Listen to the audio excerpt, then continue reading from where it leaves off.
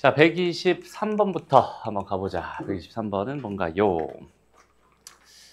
1,3과 y는 x-1 위에 두 점을 꼭지점을 하는 정삼각형이 있대. 정삼각형 한 변의 길이를 구해달라. 이렇게 줬어요. 음. 일단 봅시다.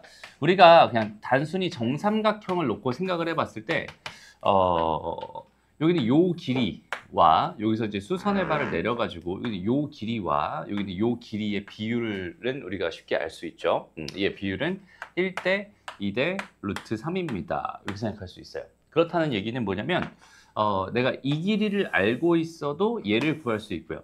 이 길이를 알고 있어도 얘를 구할 수 있고 뭐 이 길이를 알고 있어도 얘나 얘를 구할 수 있어. 이렇게 세 개 중에 하나만 알고 있어도 나는 당연히 구할 수 있어. 이런 느낌인 것 같아요. 그죠? 음. 그런데 지금 상황이 어떤 상황이에요? 지금 1,3이라는 점이 여기 1,3이라는 점이 있고요. 여기 직선이 있는데 그냥 기울기도 무시하고 그냥 대충 하나 그려볼게요. 이렇게. 음. 이렇게 있는데 여기 위에 두 점을 꼭지점으로 한 삼각형이 뭐라고? 정삼각형이라고 준 거야. 그러니까 이 삼각형이 현재 정삼각형입니다. 얘가 B고 얘가 C예요. 이게 A요. 이런 상황에서 한 변의 길이, 여기는 요 길이가 나는 현재 궁금합니다. 라고 생각할 수 있는 거죠. 됐습니다. 음. 근데 지금 상황을 보면은 여기는 이 직선은 y는 뭐야? x-1이라고 해서 직선의 방정식을 줬고요. 그 다음에 여기 점을 줬기 때문에 우리가 여기서 할 수 있는 거는 효린이 왔어요. 음. 할수 있는 거는 여기서부터 여기까지 이 거리를 우리는 충분히 구해낼 수 있단 말이야. 그렇죠? 음. 그러니까 이 길이를 알고 있는데 여기는 이 길이를 구해달라는 이 이야기랑 사실상 똑같다라고 볼 수 있겠죠.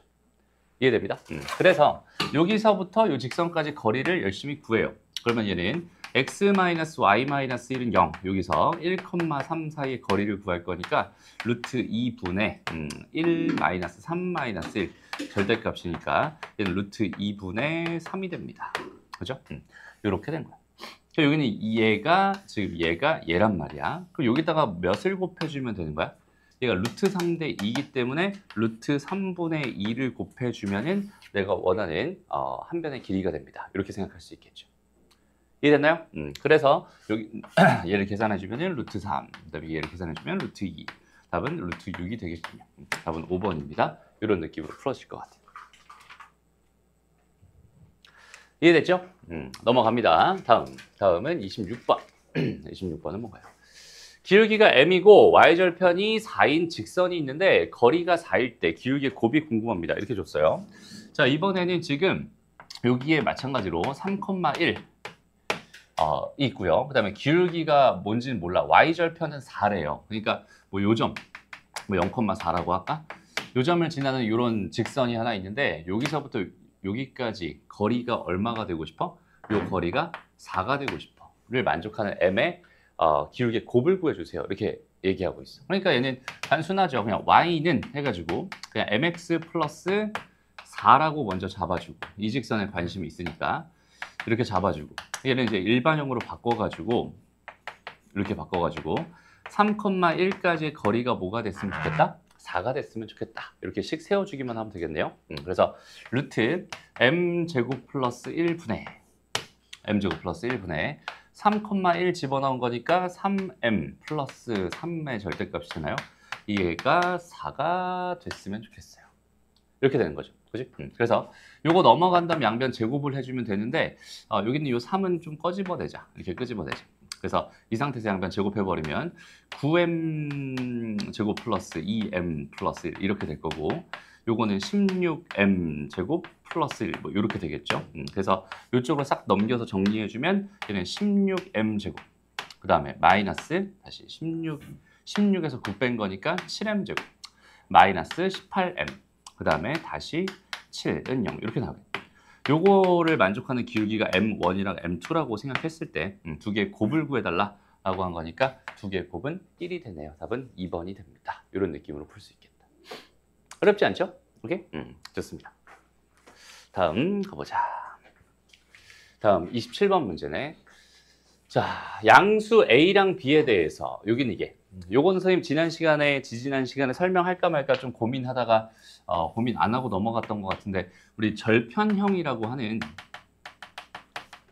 직선의 방정식의 형태가 있어요. 그죠? 딱 저 형태입니다. 그러니까 a분의 x 더하기 b분의 y는 1입니다. 지금 이렇게 주어져 있으면 여기는 얘는 x 절편이 얼마고 x절편이 a이고 y절편이 얼마인 b인 그런 직선이군요. 이런 뜻이 된다.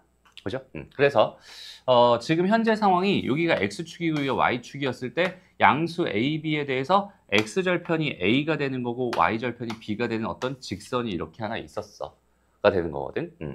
이 직선과 x축과 y축으로 둘러싸인 이 부분의 넓이가 8이래. 라고 하는 거는 뭐가 돼요? 그냥 여기는 얘가 a잖아요. 얘가 b잖아요. 그러니까 2분의 1 ab가 8입니다 라는 뜻이니까 ab는 16이에요 라는 정보를 하나 얻을 수 있고요. 됐습니다. 음. 그 다음 두 번째로 어, 원점에서부터 이 직선까지 거리가 4래요. 여기서부터 여기까지 이 거리가 얼마입니다? 4입니다. 이렇게 줬어요. 그랬을 때 a 더하기 b 값이 궁금해요. 이렇게 준 건데 어, 일단 여기는 이 식을 일반형으로 바꿔야 되니까 a, b를 곱해서 넘겨주면은 bx 더하기 ay 마이너스 ab는 0입니다. 이렇게 생각할 수 있을 것 같고 어, 얘랑 지금 0,0 사이의 거리를 구하고 싶었던 거니까 루트 a제곱 더하기 b제곱 분의 0,0 하면은 ab가 되겠죠. 절대값. 그래서 어, 얘가 지금 얼마라고? 얘가 4라고 준 거야. 됐습니다. 그런데 ab는 좀 전에 구해봤듯이 여기는 얘는 지금 4, 16이란 말이에요. 얘가 16이야. 그러니까 루트 a제곱 더하기 b제곱은 얼마가 될 수밖에 없겠어? 4가 될 수밖에 없겠네. 그죠? 음. 그러니까 다시 말하면 a제곱 더하기 b제곱이 16이 될 수밖에 없고 이거와 이거 요 두 개의 정보를 가지고 a 더하기 b를 구해주세요라는 문제였구나. 이렇게 해석해 주면 되는 거야. 여기까지 괜찮죠? 음. 그러면은 여기는 요 녀석의 제곱이 뭐가 되니까 a제곱 더하기 b제곱에다가 더하기 두 배의 a, b가 될 테니까 요거 16이었고 그 다음에 요거는 16의 두 배니까 두 배의 16이니까 얘는 세 배의 16이 될 수밖에 없죠. 그지? 루트 씌워주면 되는 거니까 얘는 어, 4루트 3 양수라고 했으니까 양수만 나오겠지. 음, 이렇게 구하시면 됩니다. 됐죠? 음, 그래서 뭐 크게 불편하지는 않은 그런 문제였구나. 넘어가서요. 어, 넘어가서 137번 한번 가보자. 137번. 어, 이건 뭐야? 음. 요거는 그냥 딱 보니까 어때? 세팅 자체가 어때? 요렇게 요렇게 같고 요렇게 요렇게 같아. 그러니까 기울기가 같은 두 직선이고 두 직선 사이 거리. 그럼 우리 두 직선 사이 거리 구하는 공식도 어, 이미 배웠었잖아. 이렇게 돼서 요거 하나랑 요거 하나랑 얘랑 얘 사이 거리를 구해주세요 라고 하면은 루트 a제곱 더하기 b제곱 분의 절대값 두 개뺀거두개 차라고 했었어. 그죠? 음, 이런 공식이 있었죠. 그러니까 여기서도 마찬가지야. 여기는 a제곱 더하기 b제곱에 루트 씌워준 게 여기서는 5가 되겠죠. 그 다음에 여기 있는 얘와 얘의 차니까 4a 더하기 2가 될 거야. 이거의 절대값이 4가 됐으면 좋겠어 라는 여기는 요 그냥 방정식 풀어주세요 라는 얘기라고 생각하면 됩니다. 그래서 어, 뭐 약분할 거 약분 해주고요. 그 다음에 넘겨서 양, 뭐 2a 더하기 1이 10인 거 2a 더하기 1이 마이너스 10인 거 요거 두 개 a 값 구해가지고 어, 두 개 더해주면 답이다. 이렇게 생각할 수 있겠네. 됐나요? 음, 답은 마이너스 1 나오겠다. 이렇게 생각하면 돼요. 괜찮죠? 오케이? 음, 좋습니다. 넘어가고요. 그 다음에 41번으로 한번 가보자. 41번은 뭔가요? 음, 여기서부터 조금 해석이 조금 필요할 수도 있을 것 같네요. 그죠? 음, 그러니까 지금까지는 그냥 있는 대로 계산하면 답이 나오는 문제였다면 해석이 조금 필요할 수도 있을 것 같아. 그냥 천천히 볼게요.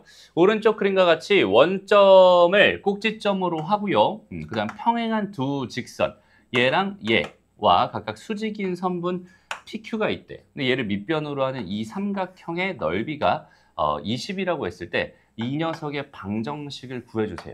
일단 Q는 1사분면 위에 있는 점이었으면 좋겠어요. 이렇게 얘기하고 있네. 자, 그럼 이거 어떻게 풀면 될까? 일단은 나는 첫 번째 관심사는 뭐야? 넓이잖아. 그지? 넓이. 지금 요렇게 요렇게 요렇게 생긴 요거의 넓이가 궁금하단 말이야. 그러니까 나의 관심은 당연히 일단 여기는 요 길이. 요 길이. 요걸 이제 밑변이라고 하면 될 것 같고. 그 다음에 또 여기서부터 여기까지 이 길이. 요 길이 여기는 얘는 높이라고 생각하면 되겠죠. 그래서 넓이가 궁금하니까 밑변이랑 높이에 나의 관심이 쓱 이동해 버리면 될 것 같고 여기까지 괜찮죠? 음. 그럼 일단은 밑변을 구할 수 있을까? 이 길이를 구할 수 있을까? 이런 생각을 먼저 한번 해보는 거야. 됐어? 그럼 여기는 요 길이는 어떻게 구할 수 있을까? 그냥 이 직선과 이 직선의 거리잖아. 그죠? 음, 그러니까 여기는 얘는 2x-y 더하기 6이라는 애 하나랑 그 다음에 2x-y 마이너스 4는 0이라는 애 하나 요거 두 개 사이 거리로서 밑변의 길이를 계산할 수 있겠네요. 음, 실제 계산하면은 루트 5분의 이렇게 된다. 그지? 음, 루트 5분의 어, 뭐가 돼요? 얘랑 얘 차이니까 10 차이가 나겠네. 그래서 어, 계산해주면 2루트 5가 되겠죠. 일단 요 밑변의 길이가 2루트 5입니다라는 사실을 얻어내고요.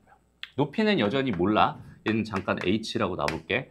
넓이가 20이라고 했으니까 20은요 2분의 1 곱하기 2 루트 5 곱하기 h로 생각을 해준다면 뭐 약분 약분 해주고 루트 약분 해주면 4 루트 5가 될 것 같아요. 그래서 h는 몇이었으면 좋겠어? 얘가 어, 4루트 5였으면 좋겠어. 라는 해석을 해줄 수 있겠다. 됐나요? 음. 그래서 지금 하고 싶은 거는 여기서부터 거리가 몇 차이 나는 4루트 5 차이 나는 직선을 어, 총 몇 개를 얻을 수 있겠는데 두 개를 얻을 수 있을 거예요. 원점에서부터 거리가 4루트 5 차이 나는 거예요. 그죠? 그 두 개를 얻을 수 있겠는데 그 중에서 위에 거를 얻어서 어, 저기 저 방정식으로 완성하면 됩니다. 이런 느낌으로 가면 되겠다. 그죠? 음, 그래서 여기는 얘에다 다시 한번 관심 음, 두 번째 여기, 여기는 얘 직선에 관심을 준다라고 한다면 저긴 제 기울기를 알아야 될 것 같고 그다음에 지나는 한 점을 알아야 될 것 같은데 기울기는 지금 여기 있는 게 2x랑 수직이다 라고 생각할 수 있으니까 기울기는 마이너스 2분의 1일 게 분명해요. 그렇죠? 음, 여기까지 괜찮고 그다음 지나는 점은 전혀 알 길이 없죠. 지금 현재는. 음, 그러니까 0,k라고 해서 하나 잡아주면 직선의 방정식을 y는 마이너스 2분의 1 x 플러스 k라고 이렇게 잡아줄 수 있을 것 같아요. 됐나요? 음. 그래서 여기 있는 요거를 더, 또 다시 뭐 해서 일반화, 일반형으로 바꿔서 다 넘겨줘. 그러면 어떻게 돼요? x 플러스 2y 마이너스 2k는 0. 얘랑 0,0 사이의 거리를 구하면 루트 5분의 절대값 마이너스 2k가 될 텐데 걔가 2루트 5였으면 좋겠어. 라는 뜻이 되는 거야. 됐죠? 음. 그래서 루트가 이쪽으로 가면서 얘는 그냥 10이 될 거고요. 그죠? 이 약분시켜주면은 5가 되겠죠? 그러니까 k 값은 뿔마 5가 됩니다. 라고 생각할 수 있는데 일단은 여기가 5였을 거고 여기가 마이너스 5였을 거란 말이야. 그러니까 여기서 플러스 5 하나만 챙겨가면 되겠다. 결국 내가 원하는 답은 이렇게 해주면 되겠다. 됐죠? 음. 근데 형태가 지금 저렇게 주어져 있었으니까 뭐야? 뭔가 망한 느낌이다. 왜 저기가 20일까요? 그렇죠? 여기 2니까 2만 곱해줘도 될 것 같은데? 그죠? 왜 저기가 20일까? 계산 잘못한 거였니? 0,04의 거리. 루트 5, 2루트 5 맞게 한 것 같은데? 그러면 일단 한번 해보자. 다 넘겨줄게요. 음, 2배에서 넘겨주면 4배를 해서 넘겨주자. 아예.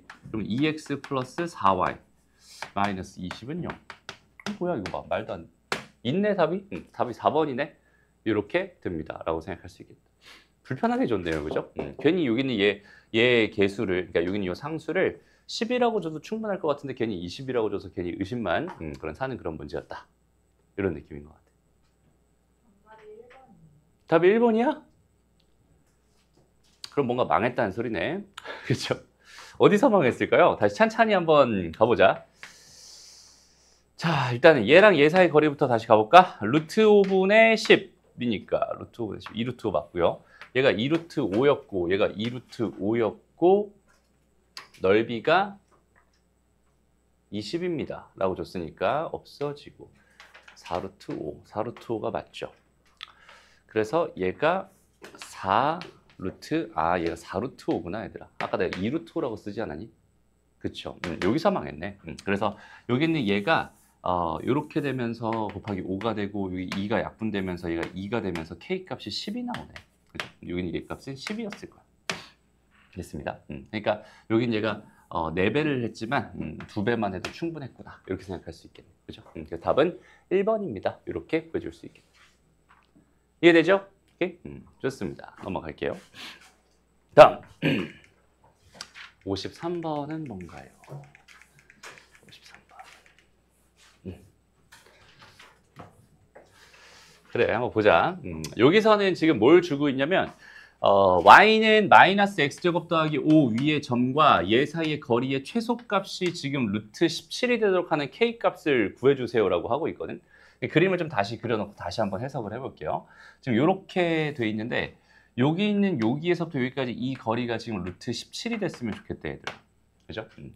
그 최소값이 루트 17이라는 거는 여기서 지금 얘랑 기울기가 똑같아지는 뭐가 생긴다는 소리야? 접선이 하나 생긴다는 소리야 라고 생각해도 괜찮아. 여기까지 괜찮니? 음. 다시 여기 있는 얘는 기울기가 4짜리 직선이었으니까 여기 있는 요 녀석은 기울기가 4짜리 얘 기울기는 4짜리였으면 좋겠어. 그리고 얘랑 뭐 했으면 좋겠니 얘들아? 얘랑 접했으면 좋겠어. 그죠? 음. 그러니까 이 직선의 방정식을 내가 4x 플러스 저희 k는 갖다 썼으니까 이번엔 뭐라고 할까? 뭐 t 정도로 할까? 이렇게 하나 잡아놓고요. 오케이? 음. 여기는 얘랑 지금 누구랑 x 마이너스 x제곱 플러스 5라는 애랑 접했으면 좋겠다를 이용해서 t 값을 먼저 구해주면 참 좋겠어요. 이해되니? 음. 그래서 요거 넘겨주면은 x제곱 플러스 4x 플러스 t 마이너스 5는 0. 여기 얘가 접해야 되니까 여기는 판별식이니까 얘가 결국 4가 돼야 되거든. 그러니까 여기서 t 값은 얼마가 돼야 돼? 일단 9가 돼야 돼. 이렇게 생각할 수 있습니다. 여기까지 괜찮죠? 음. 그래서 여기는 이 t 값은 일단 9구나 이렇게 생각해 줄 수 있는데 이제는 뭐 하면 되겠어요, 얘들아? 이 직선이 완성됐으니까 얘에서부터 얘까지의 거리가 몇이었으면 좋겠다고? 루트 17이었으면 좋겠다고. 그러니까 두 직선 사이 거리로 해결해도 괜찮겠다. 그죠? 음. 그래서 요 녀석, 그러니까 4x-y 플러스 9는 0이라는 애 하나랑 그 다음에 4x-y 플러스 k라는 애 하나 요거 두 개 놓고요. 루트 17분의 얘에서 얘 뺀 거니까 9 빼기 k가 될 텐데 얘가 루트 17이 됐으면 좋겠어. 가 되니까 요거 넘어가면서 17 되면서 절대값 9-k라고 하는 게 17이 되고 싶어요를 만족하는 k값 찾아주세요라고 생각하면 되는 거예요. 됐습니다. 그리고 그 k값은 당연히 9보다 어때야겠어요, 얘들아? 커야겠죠. 더 위쪽에 있으니까요. 음, 그러니까 9보다 더 큰 걸 가지고 어, 해달라는 거니까 차라리 이렇게 잡는 게 낫겠다, 절대값을. 음, 그래서 얘가 9보다 커야 되니까 이건 양수일 게 분명하니까 얘만 넘어가면 되고 k값은 26이구나. 이렇게 처리가 가능하다. 이런 얘기 되는 거예요. 됐습니다. 음, 좋아요. 하나 남았네요. 빠르게 하나 해봅시다. 다음 문제 볼게요. 좌표 평면에서 어, 3에서 7 사이에 있는 A 실수 A에 대해서 이차함수의 그래프의 위에 점 P와 직선 얘 사이의 거리의 최소값을 FA라고 하겠다라고 줬어요. FA의 최대값을 구해주세요. 재밌네요, 문제가. 음. 자, 어떻게 찾으면 될까, 얘들아? 그러니까 얘도 마찬가지. 이차함수가 이렇게 있죠. 그죠? 음. 그 다음에 기울기가 2짜리인 직선이 마찬가지로 이렇게 있죠. 요 해석은 되게 많이 나오는 해석이야. 항상 하는 해석이기도 하고. 그러니까 요거랑 요거랑 요거 사이 거리가 최소가 되고 싶어라고 한다면 항상 일단은 얘랑 기울기가 똑같은 접선을 먼저 하나 떠올려주면 참 좋겠어요. 오케이? 음, 얘랑 기울기가 똑같은 접선을 하나 떠올, 떠올려주고 그때 접점이 있었다면 접점에서부터 요, 요 직선까지 거리를 구해도 되고 아니면 아까처럼 두 직선 사이 거리를 구해도 되고 이런 식으로 거리를 구해주는 거야 라고 생각해 주면 돼. 여기까지 돼요? 음. 그럼 일단 나는 제일 먼저 뭘 찾아야겠어? 이 접선을 찾아야 되잖아. 그죠? 근데 얘는 기울기를 마찬가지로 줬다고 문제에서. 그 다음에 한 점은 모르니까 K라고 또 마찬가지로 놓으면 될 것 같고 그 K 값을 해결하기 위해서 접한다라는 조건, 판별식이 0이다라는 조건을 사용해서 우리 자꾸만 이렇게 K 값을 구하고 있는 이런 해석을 하고 있어요. 그렇죠? 음, 그러니까 똑같아요. 그래서 다시 똑같이 한번 접근해 봅시다. Y는 어, x제곱 마이너스 2ax 마이너스 20과 2x 더하기 k 이렇게 놓고 여기는 이거 가지고 판별식 쓰고 싶은 거니까 다 넘겨줘야겠죠. 얘는 x제곱 마이너스 어, 2로 묶으면 a 더하기 1인가요? x 마이너스 20 마이너스 k는 0 이렇게 되겠네. 여기가 됐어? 음, 그래서 여기는 얘 판별식을 쓰면 어, 왜 이렇게 덥냐 오늘? 마이너스 플러스 20 플러스 k는 0이다. 이렇게 생각할 수 있을 것 같아요. 됐죠? 그러니까 그걸 만족하는 k 값이 궁금했던 거잖아요. k 값은 뭐였던 거야? 얘가 넘어간. 그러니까 마이너스 a 더하기 1 전체 제곱 마이너스 20이었던 거야. 라고 생각할 수 있어요. 여기까지 괜찮니? 응. 그러니까 중요한 게 뭐냐면 그러니까 이 문제 딱 봤을 때 처음에 해석이 잘 안 되는 이유 중에 하나가 뭐냐면 변수가 a라는 변수도 있고 지금 그지? 그 다음에 새롭게 지금 직선의 방정식을 만들어서 K라는 변수도 또 새로 설정을 했잖아. 그지?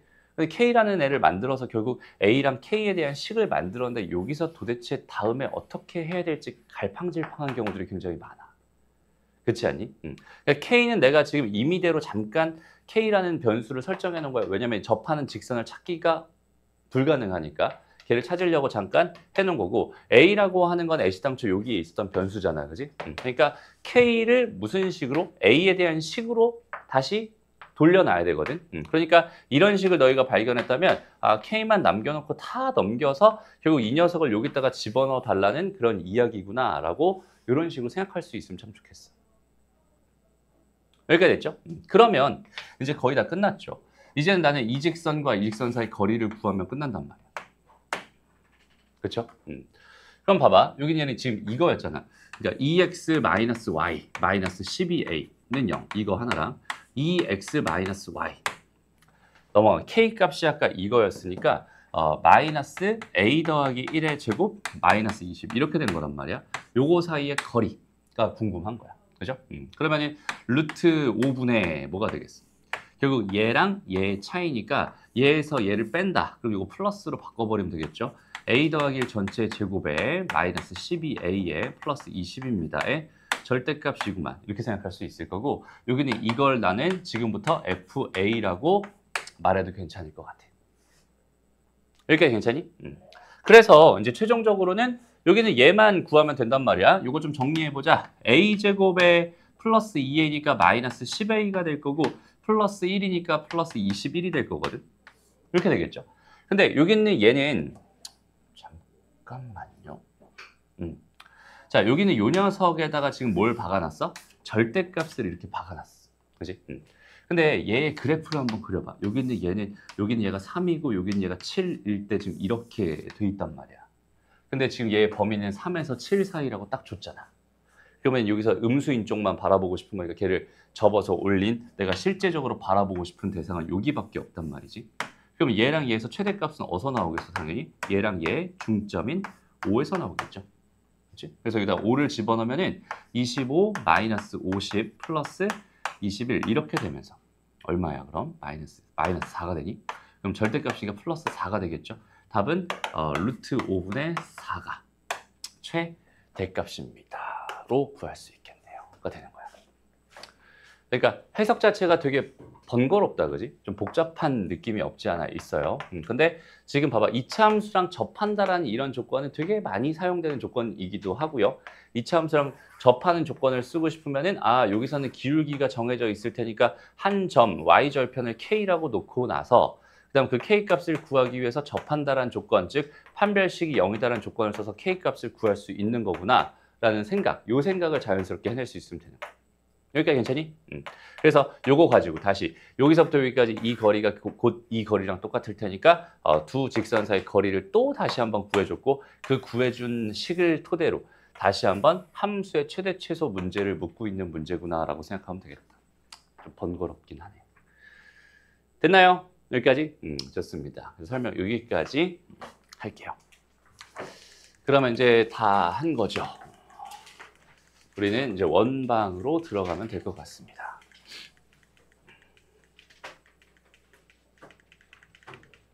음.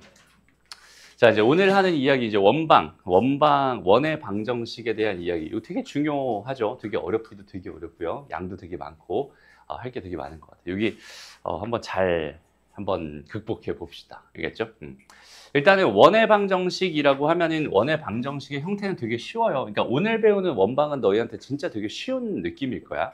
다음 시간부터는 원의 방정식 난이도가 확 올라가는 느낌이 들 수도 있거든. 음, 일단 오늘 얘기를 100%다 잘 이해하고 간다. 그러면은 다음 시간에 조금 더 편해질 거다. 이 정도만 생각해 줄 수 있으면 좋을 것 같아. 오케이? 음.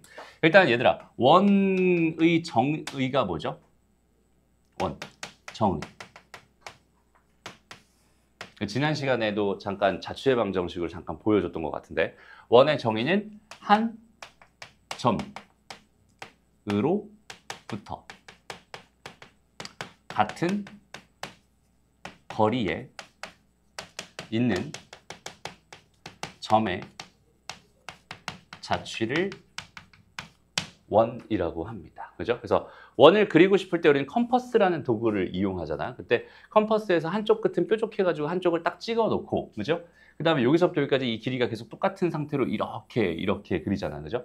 그래서 막 칠판에서 막 이렇게 원 그리는 그런 것도 유튜브에 되게 많이 나왔던 것 같은데. 음, 어쨌든 한 점에서부터 그 거리가 일정해. 근데 그 거리를 내가 R이라고 했을 때 그 점의 자취, 이 자취, 얘네들은 모아버리면 이런 식으로 이런 식으로 그려질 거야 라고 생각해 줄 수 있을 것 같아. 그림 너무 복근. 다시 음, 원을 먼저 그려놓을게요. 그러니까 여기에 중심인 한 점. 그래서 여기에서 제일 중요한 건 그 한 점, 요 녀석. 얘를 이제 우리는 중심이라고 부르죠. 그 중심의 좌표가 A, B고요. 같은 거리라고 하는 같은 거리, 그 거리는 어, 반지름이라고 해서 R. 그러니까 총 이렇게 세 개의 지표만 있으면 우리는 원 하나를 완성할 수 있어. 음, 그래서 여기는 요점의 좌표 A, B라고 하고 반지름의 길이를 R이라고 할 건데 그런 점들의 자취를 구해주세요. 이런 얘기라고 생각하면 돼요. 그럼 그 자취의 방정식은 어떻게 해주는 거야? 자취의 방정식 기본은 뭐라고 했어?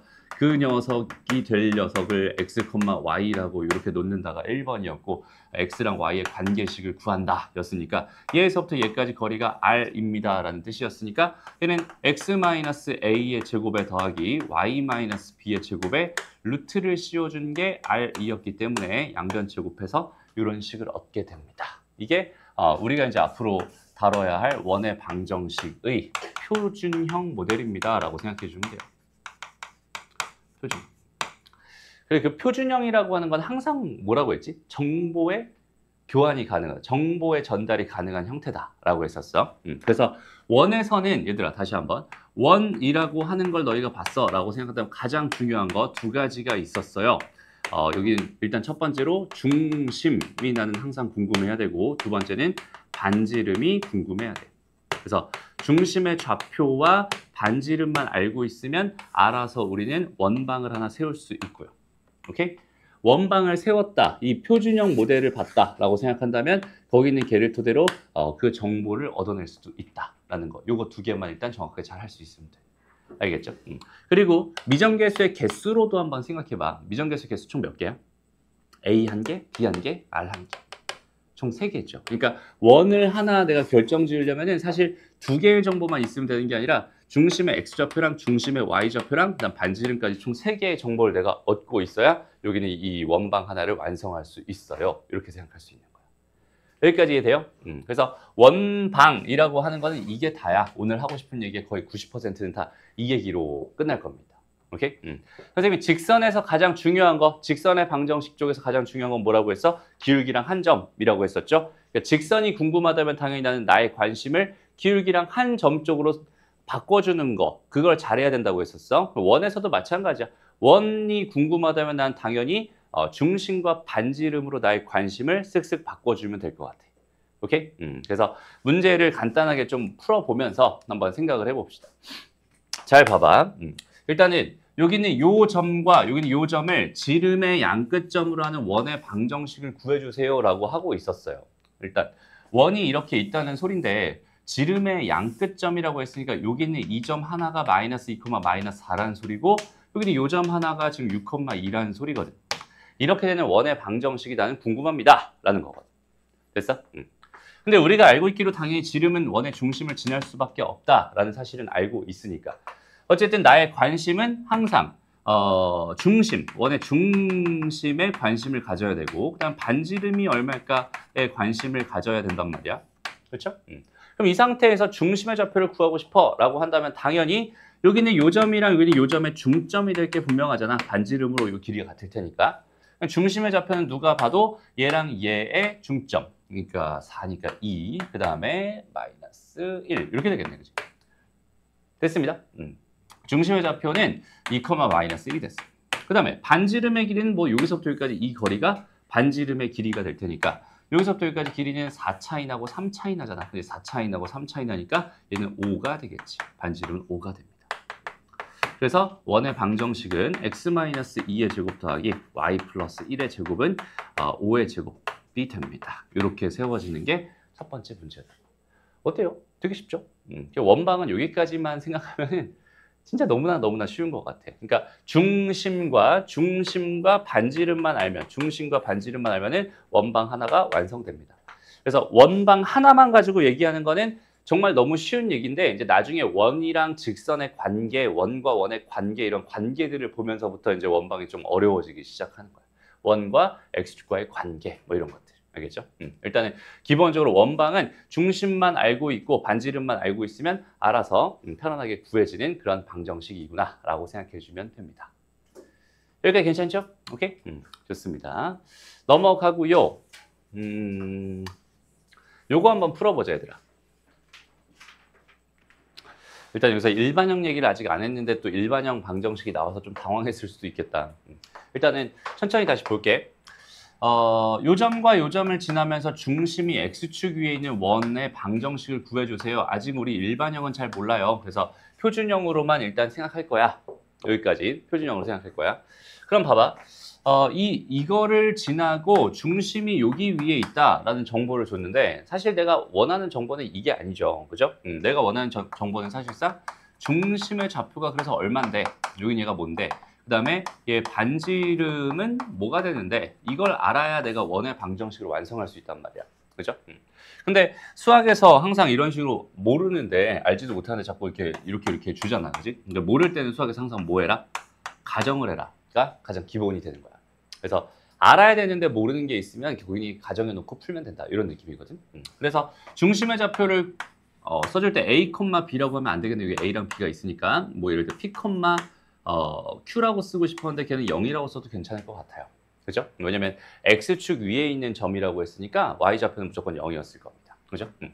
그 다음에 반지름의 길이 여전히 모르니까 대충 R이라고 잡아놓는다면 이렇게 잡아놓으면 이제 이거 가지고 우리가 원방 하나 세울 수 있잖아. x-p의 제곱 더하기 y의 제곱은 r 제곱입니다. 이렇게 원방 하나 세울 수 있겠죠. 됐나요? 음. 그리고 나서 뭐라고 하고 있어? 여기서 얘를 지난다. 여기는 얘를 지난다. 이건 조건 쓴 거고요. 그죠? 음, 여기는 얘를 지난다, 얘를 지난다 라고 하고 있으니까 여기다 그냥 마이너스 1,1 한번 집어넣어서 식 하나 만들어주고 0, 마이너스 2 한번 집어넣어서 식 하나 만들어주면 어떻게 되겠어요? 마이너스 1 마이너스 p의 제곱 플러스 음, 1의 제곱은 r의 제곱 하나랑 그 다음에 p의 제곱 음, 플러스 4라고 할까? 네, r 제곱 해가지고 이렇게 두 개 결국 P와 R에 대한 2차 연립 방정식으로서 어, 우리는 P, R을 다 구할 수 있게 됩니다. 라고 생각할 수 있는 거야. 여기까지 괜찮죠? 음, 그래서 그렇게 해서 이제 요거 잘 연립해서 구하면 되는데 R제곱이랑 R제곱 똑같으니까 그냥 얘랑 얘랑 같다. 이렇게 식을 써주면 얘는 P제곱 플러스 2P 플러스 2가 P제곱 더하기 4가 되면서 없어지면서 넘어가면서 P 값은 1 나오겠네. 그지? 음. 그 P가 1이었다면 P가 1이었다면 얘가 5가 되니까 R은 뭐가 됩니다? 루트 5가 됩니다. 이런 식으로 P, R을 다 구할 수 있어. 그러면은 여기는 얘가 지금 여기는 얘가 1이 되는 거고 여기는 얘가 뭐가 되는 거야? 5가 되는 거야. 로 원의 방정식을 완성할 수 있다. 이렇게 해석할 수 있는 거야. 여기까지 괜찮죠? 음. 그리고 이어서 설명을 하자면 여기까지 구했어. 그럼 여기 있는 얘는 지금 이렇게 다 전개해서 다시 정리하면은 x제곱에 마이너스 2xy 다시 2x에 더하기 1에다가 더하기 y제곱은 5 이렇게 된단 말이야. 그래서 결과적으로 x제곱 더하기 y제곱에 마이너스 2x 마이너스 4는 0 이렇게 쓸 수 있겠죠. 지금 여기 y가 여기가 지금 아무것도 안 붙어 있어서 y의 개수가 지금 0이 되어 있는 상태이긴 하지만 기본적으로 원방을 이렇게 되어 있는 원방을 전개하게 되면 그 형태가 어떻게 바뀔까요? 그 형태는 항상 x제곱 더하기 y제곱 더하기 ax 더하기 by 더하기 c의 형태는 0의 형태로 이런 형태로 바뀌게 되는데 이런 형태를 우리가 무슨 형이라고 부른다? 일반형이라고 부른다. 오케이? 음. 그래서 일반형 자체는 정보 교환 자체가 안 되기 때문에 여기는 얘는 그렇게까지 크게 의미 있는 형태는 아닌 것 같아. 그죠? 음. 그러니까 이렇게 주어져 있으면 얘는 이렇게 표준형으로 바꿔가지고 정보를 얻어낼 수 있다. 그 다음에 표준형이 주어져 있는 거는 이렇게 일반형으로 당연히 바꿀 수 있다. 이 정도 왔다 갔다 하는 거 어, 이외에는 별로 크게 의미 없는 것 같지만 얘만 사용되는 두 가지 형태가 있기 때문에 이것도 꼭 같이 기억해 놨으면 좋겠고. 됐습니다. 음. 그리고 조금만 더 나아가 봅시다. 음, 조금만 더. 예를 들어서 얘들아, x제곱 더하기 y제곱 마이너스 4x에다가 마이너스 4y에다가 아, 뭐라고 해볼까? 는 0이라고 한번 해볼게요. 이렇게. 됐습니다. 음. 그럼 이렇게 주어져 있는 이런 식이 있었어요. 라고 생각한다면 마이너스 1이라고 할까? 음, 마이너스 1이라고 하자. 이렇게 해볼게. 그럼 여기는 얘를 내가 표준형으로 바꿔버리면 당연히 여기는 얘랑 여기는 얘를 가지고 먼저 x 마이너스 2의 제곱을 만들 거고 그러려면 여기 4가 필요하고 여기 4가 필요하니까 그죠? 음. 그 다음에 여기도 마찬가지로 y-2의 제곱을 만들 거고 여전히 4가 필요하고 4가 필요해. 그러니까 여기까지 넘어가면 이쪽은 뭐가 될 거야? 9가 될 거야. 이렇게 생각할 수 있어요. 이해됩니다? 음. 그러니까 이건 그냥 완전 제곱식으로 만든다라는 의미에서 이렇게 변신을 시켜주면 되는 거거든. 그랬을 때 여기는 이 녀석은 이제 뭐라고 3의 제곱이라고 쓸 수 있으니까 여기는 얘가 뭐가 된다? 반지름이 된다. 이런 식으로 구해주면 되는 거야. 여기까지 괜찮니? 음. 근데 만약에 있잖아. x제곱 더하기 y제곱 마이너스 4x 마이너스 4y가 똑같이 있었는데 여기에 플러스 8은 0 이렇게 돼 있었다라고 한번 생각을 해보죠. 그러면 여기서 4를 갖다 쓸 거고 여기서도 4를 갖다 쓸 거잖아. 그러면 다 갖다 쓸 거고 결과적으로 남는 건 하나도 없거든. 그럼 결과적으로 딱 이런 모양이 돼버리겠지. 그럼 이때부터 얘는 원이라고 말할 수 있어요? 없어요? 없습니다. 그죠? 음. 반지름이 0짜리인 원이 어디 있어? 그지? 음, 얘는 그냥 하나의 점이 되는 거지. 실제로 얘를 만족하는 실수 x값은 2,2라고 하는 하나의 점밖에 없어. 실수 조건의 부정 방정식에서 했던 얘기죠. 됐어? 그리고 마찬가지로 x제곱 더하기 y제곱 마이너스 4x 마이너스 4y 아, 플러스 9는 0이었다라고 생각한다면 똑같은 상황에서 이렇게 정리를 해줬을 때 얘가 마이너스 1이 되거든. 그럼 여전히 여기는 얘는 반지름으로서의 의미가 없잖아, 그지? 음, 제곱해서 마이너스 1 되는 건 허수밖에 없어서 얘를 가지고 우리가 허원이라고 부른다라고 했었고요. 허원. 그 다음에 여기는 얘를 가지고 뭐라고? 점원이다 이렇게 부르기로 하는 거고 여기는 얘를 가지고 우리가 실원이다 이렇게 부르는 거거든. 음. 근데 우리가 실제로 원이라고 생각하는 건 당연히 실원만 실제 원이야 라고 생각해 주면 되는 거 점원이나 허원 같은 거는 원이 아니야 이렇게 생각해도 괜찮아. 고등수학에서. 알겠죠?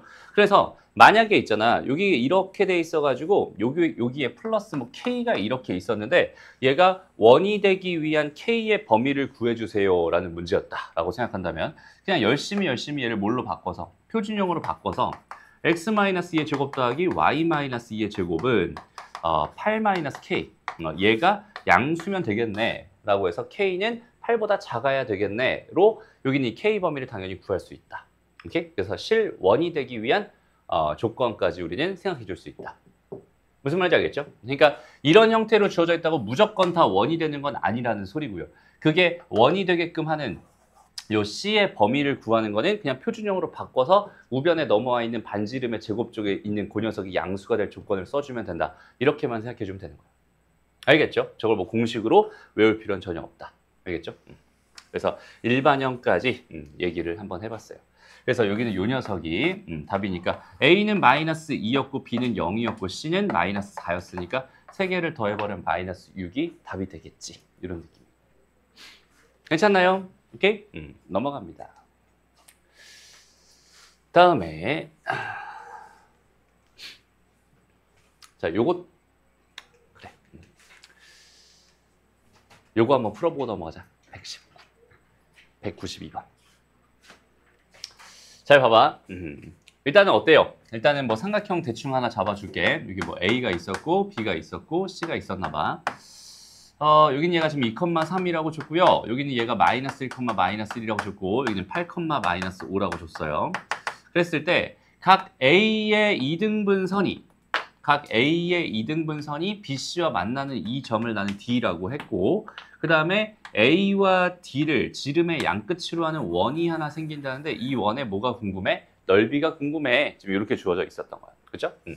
그럼 내가 지금 궁금한 건 이 원인데 원이 궁금하면 나의 관심은 당연히 얘 반지름과 중심의 좌표로 갈 거란 말이야. 그렇죠? 근데 여기는 얘가 뭐라고 얘들아? 지름이라고. 원의 방정식 자체가 궁금한 것도 아니고 그냥 원의 넓이가 궁금했으니까 나는 반지름 정도만 구해도 괜찮잖아. 그죠?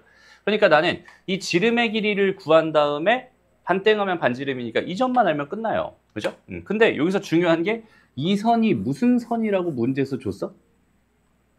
각의 이등분선이라고 줬단 말이야. 그렇죠? 그럼 가계 이등분 성질 다시 가계 이등분선의 성질이라는 게 당연히 머릿속에 튀어나와야 되는 거죠. 가계 이등분선 성질이 뭐였어? 이렇게 돼 있어요. 요거. 요게 같아요. 그러면 이거 대 이거가 이거 대 이겁니다. 이거였잖아. 그지? 음, 그래서 내분 외분에서도 이런 얘기 되게 많이 했었잖아요. 그죠? 음, 그래서 실제로 여기는 이 길이 대 여기는 이 길이가 여기는 요 길이 대 여기는 요 길이가 될 게 분명하니까 실제로 나는 이 길이를 구할 수 있나 봤더니 구- 길이 구할 수 있잖아요. 그죠? 음. 여기 3 차이 나고 4 차이 나니까 5가 될 거야. 그 다음에 얘는 몇 차이 나요? 6 차이 나고 8 차이 나네요. 그죠? 얘는 10이 될 거야. 그림이 완전 망했죠. 음. 어쨌든 이렇게 됐다고 생각했을 때 얘가 5대 10이니까 여기는 이 길이 대 이 길이가 지금 1대 2입니다. 이렇게 생각할 수 있거든. 결과적으로 이 점과 이 점을 1대 2로 내분하는 점의 좌표만 내가 구해낼 수 있다면 여기서부터 여기까지 요 길이를 구해서 반땡을 한 다음에 제곱해서 파이를 붙여주면 그냥 바로 원의 넓이가 되는 거야 라고 생각해 줄 수 있다. 이런 얘기가 되는 거죠. 그죠? 그래서 실제로 여기 몇 차이나?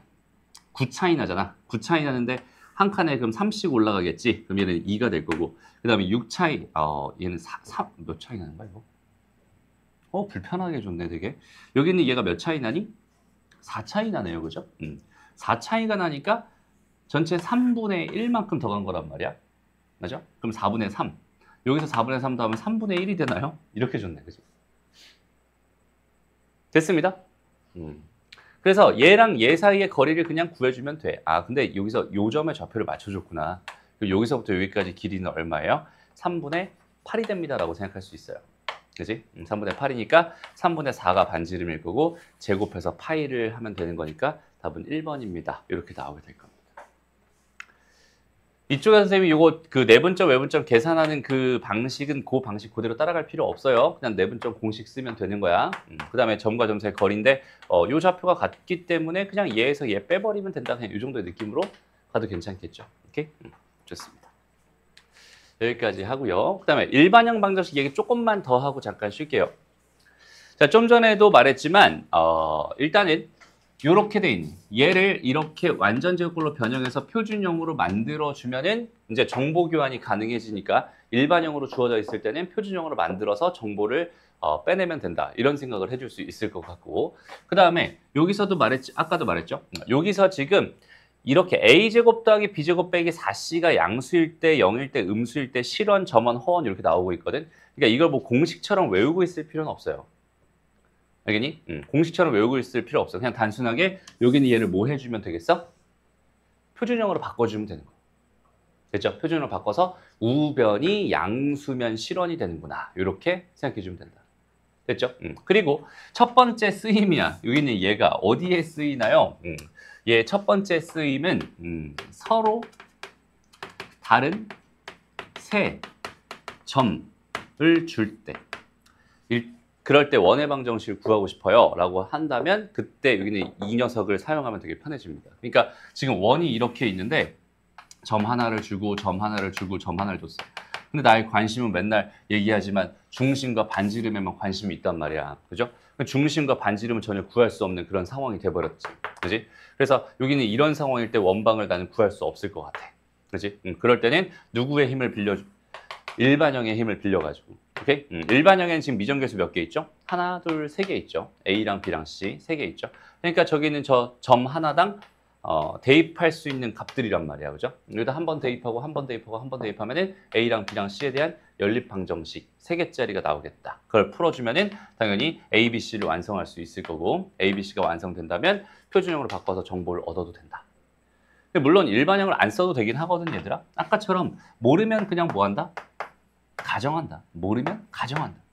오케이? 음, 그래서 그냥 여기서부터 여기까지 거리, 여기서부터 여기까지 거리, 여기서부터 여기까지 거리가 같다라는 식을 써가지고 A랑 B를 연립해서 풀어도 괜찮아. 근데 그러면 2차, 2차 연립 방정식이 되니까 불편하단 말이야. 그렇죠? 이것보다는 이쪽에 대입하는 게 훨씬 더 편하니까 서로 다른 세 점을 주는 경우를 제외하고는 거의 표준형으로 많이 쓰겠지만 서로 다른 세 점을 주는 경우는 일반형으로 가정을 해놓고 나서 그러고 나서 어, 대입해서 풀고 그다음에 정리해준다 이런 느낌이 될 것 같아요. 됐어? 그러면 유형 2번에서 하고 싶은 얘기는 어, 다 했어요. 그래서 하나만 음, 다 똑같은 얘기들이야. 원이 되도록 하- 해달래. 무슨 얘기인지 알겠죠? 아까 선생님이 예제로 들어줬던 거랑 비슷하네요. 그죠? 음. 그다음 마찬가지로 음, 쭉 넘어가서 쭉 넘어가서 어, 이렇게 세 점, 세 점을 지나는 원에 대한 방정식을 구해주세요 라고 한다면 일반형으로 만들어서 풀면 됩니다. 이런 얘기를 한 거. 됐죠? 음, 요거 지금 한번 풀어보고 잠깐 쉬자. 자, 0,0을 지나고요. 2,2를 지납니다. 일단은 x제곱 더하기 y제곱 더하기 ax 더하기 by 더하기 c라고 먼저 방정식을 세팅을 해놓고요. 음, 여기다 이제 0,0을 집어넣으면은 c가 0이겠지. 음, 이렇게 일단 정보 하나 얻을 수 있고, 그지? 2,2를 지난다. 4 더하기 4 더하기 2a 더하기 2b가 0입니다. 즉 a 더하기 b가 어, 마이너스 4입니다. 이런 상황 하나. 그죠? 음, 그 다음에 마이너스 4,1이에요. 그럼 얘는 16 더하기 4 마이너스 4a 더하기 2b 이렇게 줬네. 그래서 얘는 뭐가 되겠어? 어, 얘는 2a 마이너스 b가 이게 넘어간 거고 반으로 나눈 거니까 20이니까 10 되겠죠. 음, 그래서 이거 연립해 주면은 어떻게 돼요? 두 개를 더하면 3a가 6이니까 a가 2가 되겠네. 그럼 b도 2가 되겠네. 됐습니다. 아유 마이너스 6이 되겠네. 음, 이렇게 생각할 수 있겠죠. 됐습니다. 그래서 여기는 얘가 일단은 어, 플러스 2가 됐고요. 여기는 얘는 마이너스 6이 됐네. 그래서 얘 정보를 이제 얻기 위해서 표준형으로 바꿔보면은 x 더하기 1 전체 제곱 더하기 y 마이너스 3 전체 제곱은 요거 1 하나 넘어간 거고 그 다음에 9 하나 넘어간 거니까 10이 되겠죠. 됐습니다. 그래서 마이너스 1,3이 중심이고 반지름의 길은 루트 10이구나. 이렇게 두 개의 정보까지 다 빼낼 수 있을 것 같아. 이렇게 되니? 음, 이러고 나서 이제 어, 문제를 볼 건데 이거는 뭐 문제라고 됐어. 0,0을 지난다라고 줬는데 왜 기억을 냈는지는 잘 모르겠어요. 그죠? 음, 그 다음 두 번째. X축과 만나는 두 점 사이 거리가 2입니다. 라고 줬고요. 얘는 원을 2등분한다. 이렇게 줬어요. 일단 첫 번째 얘부터 볼까? 원을 2등분하려면 결국 뭘 지나야 돼? 원의 중심을 지나야 돼. 이런 느낌이니까 원의 중심은 마이너스 1,3이었으니까 마이너스 1,3 지나는 거 맞네요. 그죠? 음, 그러니까 디귿 보기 맞는 보기. 그 다음에 니은 보기는 보면은 그림을 좀 정확하게 한번 그려보자. 어떻게 된 거야? X축, Y축 여기가 마이너스 1이고 그지? 반지름의 기... 다시 여기가 3이었죠. 음, 여기가 중심이고 반지름의 길이가 루트 10이었으니까 3보다 좀 더 큰 상태에서 원점 지나는 뭐 이런 형태의 원이었을 거라고 생각할 수 있어요. 그러면 여기서부터 여기까지 이 길이가 나는 현재 궁금해요. 이런 뜻인데 여기서부터 여기까지 이 길이가 루트 10이고요. 여기는 이 길이가 지금 3이었으니까 이 길이가 1이 되겠네요. 그죠? 음, 그럼 여기도 마찬가지. 여기도 1이 될 테니까 어, 거리는 2가 됩니다. 저것도 맞는 보기야. 라고 생각할 수 있겠다. 됐습니다. 음, 이런 식으로 그냥 하나하나 자연스럽게 생각해 줄 수 있으면 될 것 같아요. 그래서 원방 자체는 다시 한번 말하지만 원방 자체가 어려운 건 아니에요.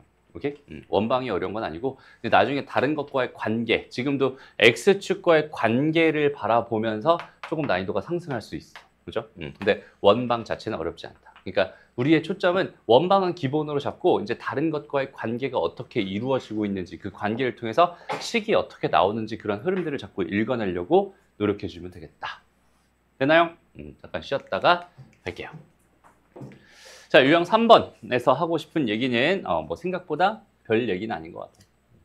여기서는 이제 외심에 대한 얘기인데 외심이라고 하는 거의 정의를 우리는 충분히 알고 있잖아. 외심의 정의는 뭐였어?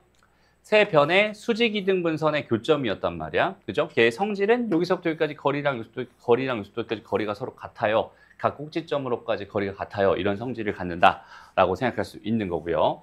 외심이라고 하는 거는 별칭이 외접원의 중심이기 때문에 외접 원을 생각했을 때 원이 튀어나오는 거고 원 위에 있는 세 점이 튀어나오는 거거든.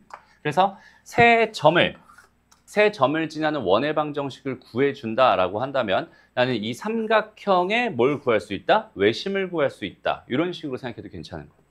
무슨 말인지 알겠죠? 음. 그리고 외심은 뭐 예각삼각형, 직각삼각형, 둔각삼각형에 따라서 내부에 있을 수도 있고 빗변의 중점에 있을 수도 있고 외부에 있을 수도 있다. 이 정도는 중학교 때 다 우리 공부를 해 온 걸 테니까 이 정도 얘기로 음, 마무리를 하고요. 됐나요? 음. 실제로 봐봐. 여기 있는 얘랑 여기 있는 얘랑 여기 있는 얘로 만들어진 삼각형이 있대. y는 2가 있고요. 그 다음 뭐 이런 직선이 하나 있고요. 또 이런 직선이 하나 뭐 있었나 봐요. 라고 했을 때 요거랑 요거랑 요거로 만들어지는 이 삼각형에 뭐가 궁금하다? 외접원의 방정식이 궁금하다라고 하고 있는 거야. 오케이? 근데 이거는 우리가 외심을 구해주세요에서 사실 점과 직선, 아직 평면 좌표 쪽에서 충분히 했던 얘기이긴 하거든 사실은 음, 이런 문제 풀어봤을 거예요. 그러니까 이 점의 좌표를 열심히 구하고 이 점의 좌표를 열심히 구하고 이 점의 좌표 열심히 구해서 이 길이랑 이 길이랑 이 길이가 같아요라고 식을 세워주게 되면은 얘랑 얘랑 같다는 식 하나랑 얘랑 얘랑 같다는 식 두 개가 나오니까 결과적으로 여기 있는 이 미정계수 a, b를 다 구할 수 있게 돼요. 그렇지 연립방 정식을 토대로. 근데 그렇게 구하는 것도 괜찮지만 이제는 세 점이 주어져 있다면 세 점을 지나는 원의 방정식을 구해서 걔를 표준형으로 바꾼 다음에 원의 중심의 좌표를 구함으로써 이 외심을 구할 수도 있다. 라고 생각해 주면 된다. 알겠나요? 음, 좋습니다. 그리고 여기서 조금 간과하고 넘어갈 만한 얘기 중에 하나가 뭐냐면 이거예요. 직각삼각형의 외심의 위치는 얘랑 얘의 중점이야. 이거 되게 중요한 조건 중에 하나다. 알겠죠? 음, 앞으로 외심이 궁금한데 그러면 외심이 궁금한데 내가 쉽게 구할 수 있는 포인트는 요거밖에 없어요. 외심이 궁금하다 그러면은 얘가 직각삼각형인지 아닌지 그거 먼저 관찰하는 습관을 들여주면 좋을 것 같아요. 알겠죠? 음, 이제 넘어갑시다. 딱 이거네. 근데 얘들아, 봐봐. 요거랑 요거 딱 보면은 얘랑 얘 관찰하면 지금 어때? 요게 1이고 여기는 2였잖아. 여기 2였고 여기 마이너스 1이었잖아. 그럼 이렇게 곱한 거랑 이렇게 곱한 거 두 개 더한 게 0이니까. 그렇죠? 그럼 얘랑 얘랑은 뭐거든 지금 현재 수직이거든. 그럼 이 직선과 이 직선이 서로 수직이다라는 거는 뭐 이렇게 이렇게 돼 있고 하나가 y는 2 이렇게 돼 있다라고 생각했을 때 그 외심이라고 하는 게 뭘 수밖에 없어? 이 점과 이 점의 중점일 수밖에 없어라는 생각을 할 수 있었다면 오케이? 음. 그러면 이 직선과 y는 2 연립해서 한 점 구하고요. 이 직선과 y는 2 연립해서 한 점 구해서 얘랑 얘 중점 구하고 여기서부터 여기까지 거리 구해서 어, 중심과 반지름 다 구할 수 있겠다. 이런 식의 어, 해석도 가능했으면 좋겠다. 알겠죠? 음. 그게 어려운 얘기는 아닌 것 같아요. 넘어갑니다. 요거 한번 풀어볼래요? 시간 좀 걸릴 것 같네. 이건 시간 좀 줄 테니까 한번 풀어보세요. 일단은 제일 먼저 너희가 해야 될 일은 뭐냐면 어, 이렇게 세 개의 직선이나 주어져 있으면 그 세 개의 직선을 먼저 관찰하는 거 음, 이게 가장 중요하죠. 그래서 일단은 요게 캐치됐으면 참 좋겠어. 요거 두 개가 뭐가 됩니다? 서로 수직이 됩니다. 음, 이렇게 음, 저욕 아니에요. 음, 됐죠? 음. 자 어쨌든 여기는 얘가 수직이 되면 그러니까 수직이 되는 두 개의 직선이 지금 이렇게 이렇게 지금 존재하고 있는 거고요. 그 다음에 여기는 얘가 하나가 뭔지는 모르겠지만 이런 식으로 가고 있었나 봐 라고 한다면 그 외저번의 반지름에 관심이 있단 말이야. 그러니까 이렇게 지금 이런 식으로 이런 식으로 지금 원이 생긴다고 생각했을 때 얘는 여기잖아 결국. 그죠? 음. 그러니까 그냥 이 점의 좌표를 구하면 되고 이 점의 좌표를 구하면 되고 얘네들의 중점을 구하면 되고 여기서부터 여기까지 거리를 구하면 내가 원하는 답이 되는 거야 라는 해석만 해줄 수 있으면 편안하게 풀렸던 문제죠. 그죠? 음. 그래서 여기 있는 요 녀석이 궁금해요 라고 한다면 이 녀석과 요거 그러니까 얘와 얘 요걸 연립해 가지고 하나 교점을 구해 주고요. 얘가 궁금했다면 얘와 얘 요걸 연립해 가지고 여기는 얘를 구해 줍니다. 됐어? 음, 계산 과정은 안 해도 괜찮겠지? 음, 그러니까 여기 몇 컴마 몇 나오고 몇 컴마 몇 나오고 얘랑 얘 중점으로 몇 컴마 몇이 나올 테니까 여기서부터 여기까지 거리를 구한다. 네, 이런 생각으로 문제를 풀었으면 되는 거예요. 알겠죠? 음, 넘어갑니다. 다음 어, 벌써 나왔네 이게. 유형 4번. 음, 유형 4번으로. 자 일단 요거 이제 지운다. 오케이? 음. 그러니까 지난 시간에 선생님이 이제 자취의 방정식 얘기 간단하게 하면서 그죠? 음.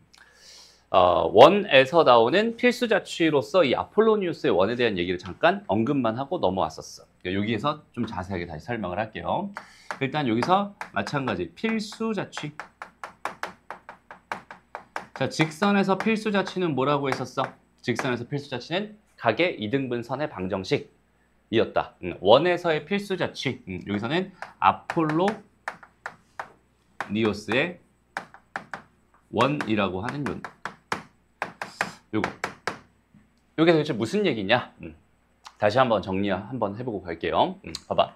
우리가 만약에 이렇게 수직선, 이렇게 직선이 하나 있었어 라고 생각해보고 여기에 한 점 A가 있고 여기 한점 B가 있었어 라고 한번 가정을 해봅시다. 라고 했을 때 어, AP 대 BP가 M 대 N을 만족하는 점 P는 몇 개 있을까요?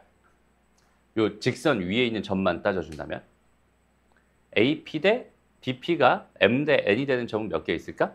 당연히 두 개 있을 거예요. 그렇죠? 음. 그러니까 얘를 M 대 N으로 M 대 N으로 내분하는 점이 존재할 수 있고요. 반대로 여기는 얘를 M 대 N으로 뭐 하는 점? M 대 N으로 외분하는 점이 존재할 수 있습니다. 여기까지 괜찮죠? 음, 이거는 직선 위에 있는 점을 가지고만 생각한다면 P가 될 수 있는 녀석은 이 녀석이랑 이 녀석 두, 두 개밖에 없다는 소리가 되는 거예요. 그런데 우리가 이제 어, 사용할 공간은 이 평면이잖아요. 그지? 좌표 평면. 좌표 평면 위에 있는 어떠한 점을 기준으로 생각했을 때 여기에서 여전히 여기까지 거리랑 여기서부터 여전히 여기까지 거리가 m 대 n이 되는 그런 점은 더 존재할 수도 있겠죠. 이해됩니다? 음. 그런 점들을 싹 다 모아 보니까 결과적으로 뭐가 되더라? 하나의 원인 모양이 되더라. 그걸 가지고 우리가 아폴로니우스의 원이라고 이야기를 하는 거야. 여기까지 되니? 됐어? 음.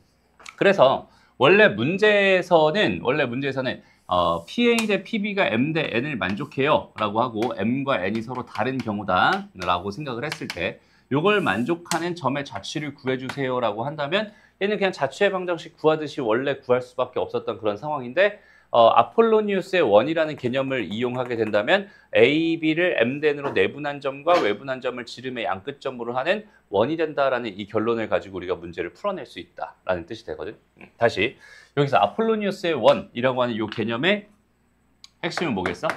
A, B를 뭐라고? A, B를 M 대 N으로 내분한 점과 외분한 점을 지름의 양 끝으로 하는 원이 된다. 라고 하는 게 지금 어, 여기 아폴로니우스의 원에서 하고 싶은 얘기고 다시 뭘 만족하는 애가 AP 대 BP가 M 대 N인 점 P의 자취가. 여기가 됐어? 음. 그래서 결과적으로 문제를 풀 때 있잖아. 한번 봐봐. 이렇게 줘있어요. 아폴로니어스의 원이라는 개념을 모르는 상태에서 이 문제를 접근하게 되는 느낌과 알았을 때 접근하는 느낌 두 가지를 다 보여줄게요. 몰랐을 때는 어, 지금 여기에 마이너스 1,0이라는 점이 있었어요. 그 다음에 마이너스 1,0 그 다음에 여기 5,0이라는 점이 있었습니다 라고 했을 때 그 다음에 어떠한 점이 있는데 그 점은 여기서부터 거리랑 여기서 거리가 지금 1대 2를 만족했으면 좋겠대. 그 점 뭔지 모르니까 나는 x, y라고 놓을래. 이렇게 된 거야. 오케이? 그래서 이 1대 2를 만족했으면 좋겠다고 했으니까 이 점 p라고 했을 때 얘랑 얘 사이 거리를 구하면 x 더하기 1 전체 제곱 플러스 y 제곱의 루트가 되겠죠. 이거 돼. 여기서부터 여기까지 거리를 구하면 x-5의 제곱에 더하기 y 제곱의 루트가 되겠죠. 이거가 1대 2를 만족하는 점이다. 라는 뜻이 되는 거거든. 그죠? 그래서 이거 얘는 얘다 라고 해서 양변 제곱해서 정리를 해주면 요거 먼저 쓰자. 그럼 얘는 x제곱 마이너스 2 10x 플러스 25 플러스 y제곱이 될 거고 얘랑 얘 제곱한 거니까 4배의 x제곱 플러스 8배의 x가 되나요? 더하기 4 더하기 4y제곱. 이렇게 되겠네요. 그래서 이걸 싹 다 이쪽으로 넘겨준 다음에 정리를 해보면은 어, 3x 제곱에 더하기 3y 제곱 이렇게 될 거고 그럼 얘가 이쪽으로 넘어간 거니까 더하기 18x가 되나? 그렇죠? 그 다음에 얘가 이쪽으로 넘어가니까 마이너스 21이 되니? 이렇게 되겠네. 3으로 나눠버렸더니 x제곱 더하기 y제곱 더하기 6x 마이너스 7은 0이 되니까 표준형으로 바꿔보면 x 플러스 3 전체 제곱 더하기 y의 제곱은 9가 생긴 거니까 16이 되면서 이렇게 원의 방정식 하나를 만들 수 있어요. 그러니까 결론이거든. 여기까지 됐어? 음. 그러니까 이거는 그냥 순수하게 뭘 가지고 푼 느낌이야? 자취의 방정식을 가지고 푼 느낌이야 라고 생각하면 되고 여기 이제 아폴로니우스의 원을 가지고 아폴로니우스의 원을 가지고 어, 풀게 된다면 일단 나는 여기 딱 잡아줘 다시 여기 이렇게 여기가 마이너스 1이고 여기 얘가 5였어요 여기가 A고 여기가 B였어 그럼 얘를 1대 2로 내분한 점과 외분한 점이라고 했으니까 일단 요 점의 좌표는 1일 거야. 그렇죠? 음. 그 다음에 요만큼 더 가면 되는 거니까 요 점의 좌표는 이게 6만큼 차이 나거든. 6만큼 더 가면 되니까 마이너스 7이 될 거야. 됐습니다. 음. 그럼 이 점과 이 점을 지름의 양끝으로 하는 원이 된다라고 한 거네. 그럼 얘랑 얘의 중점은 마이너스 4가 될 테니까 어, 맞죠? 마이너스 몇이 되니? 마이너스 3이 될 테니까 그다음 여기서부터 여기까지 이 길이가 4가 될 테니까 x 더하기 3의 전체 제곱 플러스 y 제곱은 뭐가 됩니다? 16이 됩니다. 로서 그냥 바로 바로 툭툭 구해줄 수 있다라는 어, 그런 얘기야. 알겠죠? 음, 그래서 아폴로니우스의 원이라는 여기 있는 이 사실을 우리가 미리 미리 미리 알고 있다면 여기 있는 AP 대 BP가 M 대 N이 되는 점의 좌치, P점의 좌치는 어, M 대n으로 내분하는 점과 외분하는 점을 지름의 양끝점으로 하는 원이 된다라는 사실을 미리 알고 있다면 훨씬 더 편하게 풀 수 있다. 이런 느낌으로 생각하면 됩니다. 이렇게 괜찮죠? 음, 이거 아폴로니우스의 원이라고 합니다. 크게 어려운 개념은 아니니까 요거는 하나 뭐 해주세요 얘들아 외워주세요 알겠죠? 음. 외워야 되는 주제입니다. 되게 뜬금없잖아 그지? AP 대 BP가 M 대 N이다 이, 이, 이 조건을 보면서 우리가 아무 생각을 떠올리지 못한다면 은 안 되는 얘를 보자마자 아 이거 아폴로니우스의 원이겠네 원의 방정식 내가 쉽게 구할 수 있겠네 이런 생각들 해주면 된다는 소리입니다. 알겠죠? 음, 그래서 실제 문제에서 음, 이런 얘기 봐봐. 자, 널, 이게 PAB의 넓이의 최대값이 현재 궁금하다 이렇게 줬어요. 그러면 지금 상황을 일단은 마이너스 3,0과 0,3이 있었고 AP 대 BP가 2대 1입니다. 만족하는 점 P가 있었어요 라고 생각했을 때 그 점 P의 자취가 원이 될 거야 라는 생각을 우리가 미리 할 수 있기도 하고요. 그 원이 될 거야. 그 다음에 어, 여기 두 점이 이렇게 있었잖아. 그두 점이 뭐 예를 들어 이렇게 있었다라고 생각한다면 이렇게 돼 있는 이 삼각형의 넓이의 최대값이 궁금한 거구나. 이제 이런 식으로 생각해 줄 수 있다는 소리가 되거든. 됐습니다. 음, 그래서 이걸 가지고 지금 잠깐 시간 줄 테니까 PAB의 넓이 최선을 다해서 빠르게 한번 구해보세요. 우리 그 그림을 그릴 때 있잖아. 그 비교적 정확하게 그리는 건 당연히 중요하긴 한데 너무 정밀함을 요구할 필요는 없어요. 그러니까 문제가 잘 안 풀려. 만약에 내가 대충 그렸는데 문제가 안 풀려. 그러면 제대로 다시 한번 그려본다? 이 정도면 될 것 같아. 그래서 일단은 봐봐. 선생님이 아예 그냥 막무가내로 그려볼게. 그러니까 여기는 얘가 A였어. 얘가 B였어. 이렇게 잡고 한번 그려볼게. 오케이? 음. 그러니까 얘가 이렇게 기울어져 있을 거 아니야 기본적으로. 그지? 이게 기울어져 있을 텐데 이렇게 자꾸 그려도 되고 사실 기울어도 돼. 그러니까 이건 좀 너무 또 정직한 느낌이니까 이렇게 자꾸 한번 그려볼게. 얘는 기울기가 일자리인 직선 위에 있는 점일 거거든? 근데 이렇게만 놓고도 한번 생각해 보자. 여기가 A였다고 생각하고 여기가 B였다고 한번 생각을 해봐요 근데 지금 여기가 2대 1로 뭐하는 2대 1을 만족하는 점 P가 있다고 했으니까 아폴로니우스의 원의 개념이 될 거야 라고 생각해 준다면 여기서 뭐 하면 되겠어? 일단 첫 번째 3등분 해가지고 요점. 요게 A, B를 2대 1로 내분하는 점이야 라고 먼저 생각할 수 있고 그 다음에 2대 1로 외분하는 점을 찾고 싶어요. 음, 그러면 당연히 요 길이만큼 한 번 더 가면 되는 거니까 어, 요점. 요 점이 뭐가 되는 거야? 어, 다른 한 점이 되는 거지. 그럼 이렇게 돼서 이렇게 이렇게 돼 있는 이런 원이 생길 거야 라고 생각해 줄 수 있잖아. 그렇지? 그러니까 지금 점 P라고 하는 건 어디 도형 위에 있는 점이야? 이 원 위에 있는 점이야. 이 수많은 점들 중에서 이 수많은 점들 중에서 하나를 딱 집어 가지고 이렇게 이렇게 돼 있는 이 삼각형의 넓이 또 이렇게 이 점을 잡았다면 이 삼각형의 넓이를 의미하는 거고 이렇게 잡았다면 이 삼각형의 넓이를 의미할 거란 말이야. 그럼 이 삼각형의 넓이가 최대가 되는 순간을 지금부터 그냥 도형의 입장에서 한번 해석을 해보자는 거야. 알겠죠? 음. 일단 천천히 한번 봅시다, 얘들아. 일단 우리가 이 길이 구할 수 있니? 이 길이?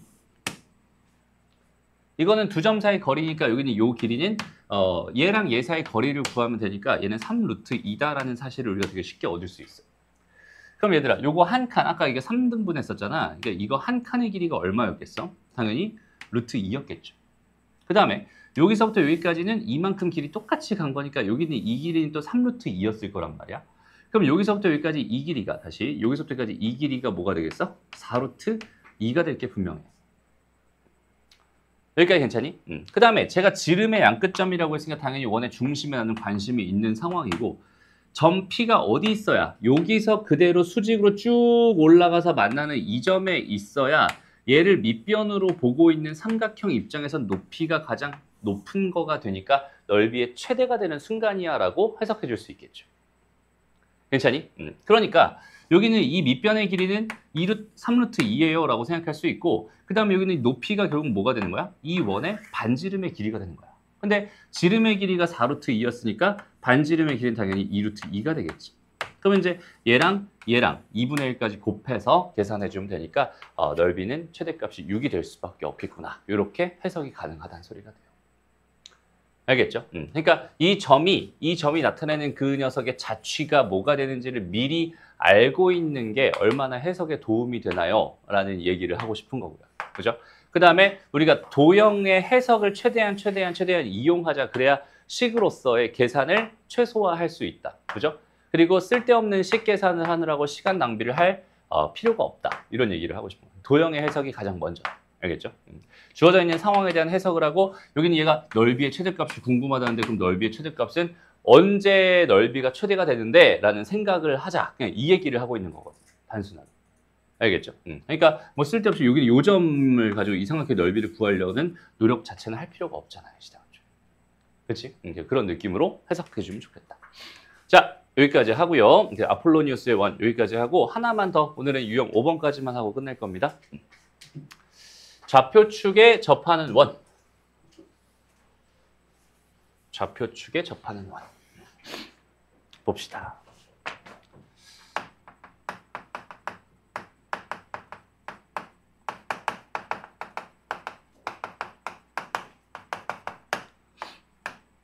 이것도 이제 하나의 개념으로 기억해 놨으면 좋겠는데 어, 그냥 이런 느낌이야. X축에 접하는 원이 있대요. 이렇게 원이 있대요. 이렇게 원이 있대. 그다음에 또 Y축에 접하는 원이 있대요. 뭐 이렇게 원이 있대. 이렇게 원이 있대. 그다음에 X축과 Y축에 동시에 접하는 원이 있대요. 원이 있대. 원이 있대. 이렇게. 이런 애들이 지금 여기 선생님이 8개 그렸죠? 이 8개의 원들이 지금 좌표축과 접하는 원들에 대한 생각이거든. 오케이? 음. 근데 항상 우리가 봐봐 원에 대한 생각을 할 때는 항상 두 가지를 꼭 기억해라. 여기는 얘 중심과 여기는 얘 반지름. 근데 중심의 좌표는 몇 개 있어? 요소가 두 개가 있고요. 근데 반지름은 하나가 있어. 그러니까 내가 원 하나를 완성시키려면 사실 세 개의 조건이 필요한 거거든.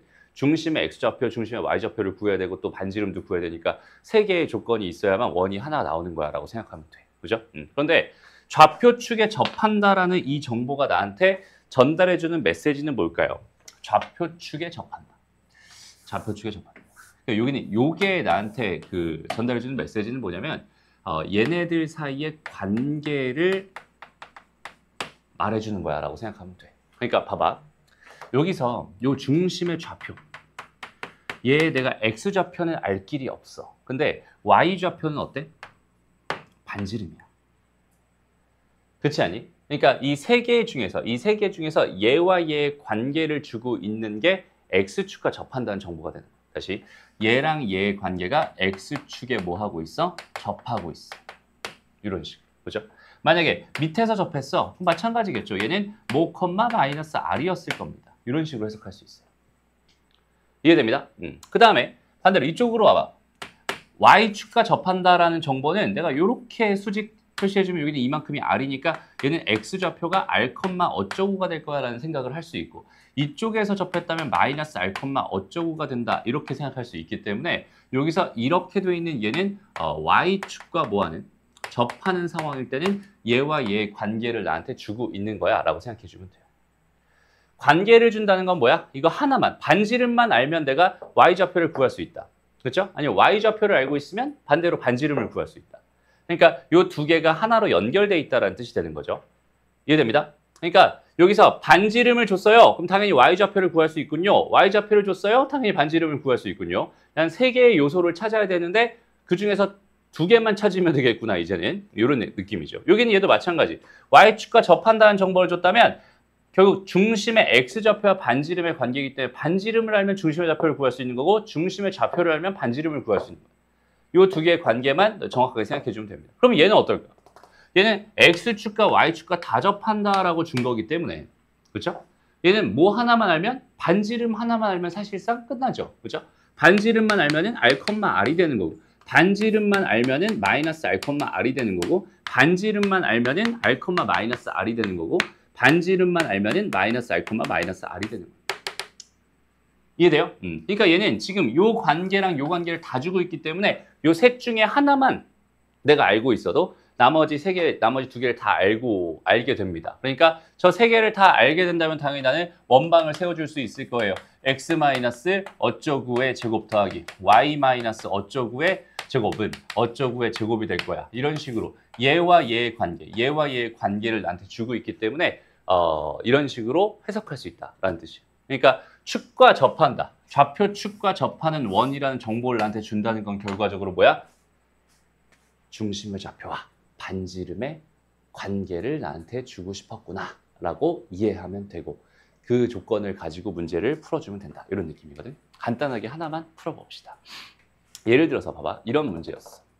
대표 문제 하나만 풀고 마칠게 자 여기서 일단 얘가 정보가 아예 없으니까 여기는 어쩔 수 없이 표준형으로 바꿔야 돼 그죠? 음, 그래서 얘는 x 더하기 2의 전체 제곱 더하기 y 마이너스 3a의 전체 제곱은 아 그래요. 여기에 이제 이쪽에 9a 제곱이 생긴 거고 더하기 4가 생긴 거니까 얘네들이 넘어오게 되면은 8a 제곱에 더하기 9 이렇게 되겠죠.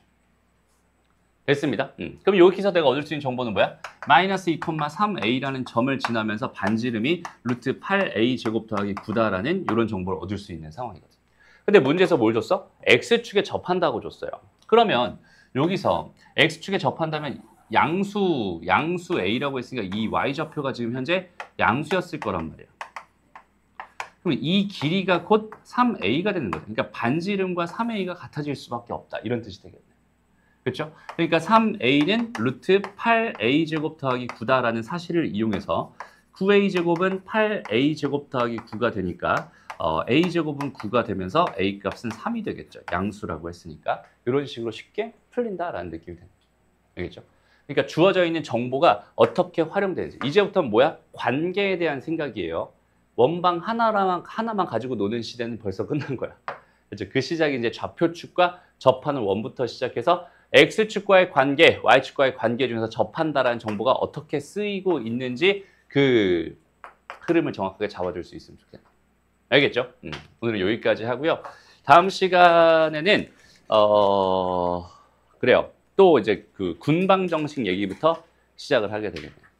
오케이? 음, 여기까지 할게. 고생했습니다.